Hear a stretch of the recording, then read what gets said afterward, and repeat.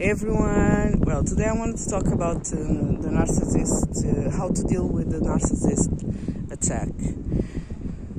Well, narcissist uh, traits they usually use a lot of manipulation. They manipulate you. They make you believe uh, that you are not worthy, that you are guilty, that you are uh, um, not a good person, so they can feel better about themselves. And one thing that they usually do is that when they want to change your mind about something, they will come with the same arguments over and over again. Even if you are not even talking with that about that, they will bring up that situation that annoy you so that they can drain energy out of you. So most of the narcissists uh, toxic people use use black magic. Okay, not all, but most of them. And um, sometimes they use also black magic to try to manipulate you, um, to think the way they want them to you to think, so they can control you. So once you see that uh, uh, a topic it's always brought, being brought up by that person you have to stop it when it comes. And i mean by like uh, oh you are uh, uh, for example you are doing um, uh, for a course to improve your your job okay and they are not liking it. So they will do like, oh, the curse uh, that uh, curse you are doing um, is not uh, good for you. You won't have any um, job after that. It's a it's a waste of time, whatever. So they will try to make you believe that what you are doing is not worthy. Okay, it's not worth it, and um, or uh, that situation I, I went through uh, about my spirituality. I met someone recently that was trying to make me believe that God didn't exist, that my gods were all bullshit, whatever. And I was like, um, when he brought it, the situation was like, uh, no, I have my faith, I know what I want to achieve, and whatever. And it was like, oh no, you only have your body.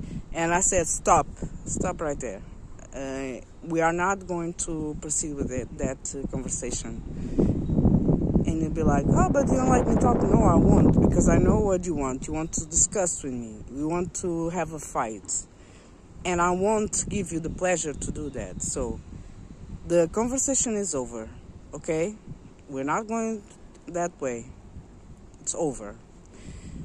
And in this time, you are you are making solid boundaries, okay?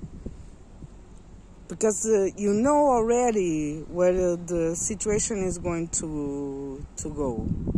So if you if you step in and you put boundaries, the person will not like so so they they will use another form of manipulation that person specifically use this oh you think you i am a, a shit and whatever and uh, they will try to victimize themselves or they they will say like uh, uh, I give you this and that, uh, and you are ungrateful, whatever. They will try to make you feel guilty. And I said, like, no, you feel like you are shit, a piece of shit. Uh, the, the, people, the person told me that uh, I thought he was, he was a piece of shit, and I said, no, you think you are a piece of shit, and that's why you are saying that. Don't tell me I did say or I do think because I don't, but you think because you are uh, saying it. So don't go, go putting the blame on me on what you think you are, okay? That's your problem, not mine. So you have to really make the people take responsibility. If if uh, the, the person doesn't take responsibility, uh, she won't ever acknowledge what she is doing, and she won't ever uh, be, be in, in a place that she can really understand what she is doing to themselves, okay, uh, the, herself or himself.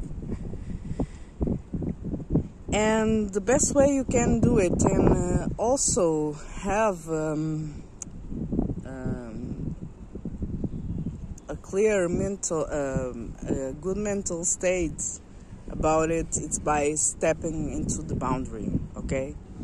Don't let them cross over you. Don't let them make you feel like you are undeserving, you are whatever.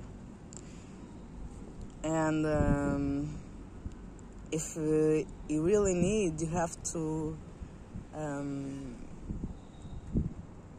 cut that uh, cord if uh, you really um, is a relationship nearby to you that is really draining your energy, constantly fighting every single day, because they will need that angriness, that that bitterness from you, because they, they cannot feel happy, they cannot feel uh, peace. They are constantly in a battle inside their heads, in uh, conflict inside themselves.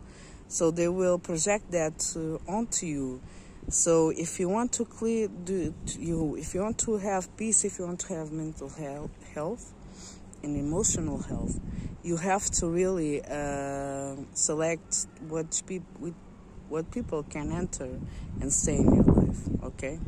So I wanted to leave this uh, for you. Thank you very much.